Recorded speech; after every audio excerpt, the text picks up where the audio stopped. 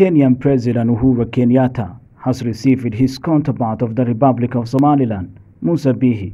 This is the first meeting between the two leaders since they came to power, but the second official meeting of Kenya and Somaliland leaders since 2006.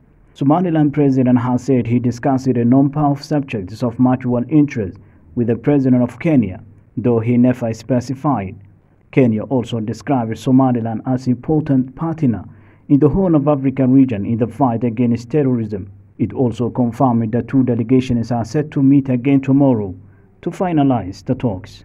The regional leaders are closely following this meeting between Kenyatta and Musa Bihi, as well as where it will finalize it within the coming hours. Somaliland and Somalia united in 1960 to form the Somali Republic, but Somaliland succeeded from Somalia in 1991 after dissatisfaction with the Union. Though this country has not got international recognition for the past decades, it has close diplomatic relations with the EU, UK, USA, and other regional countries.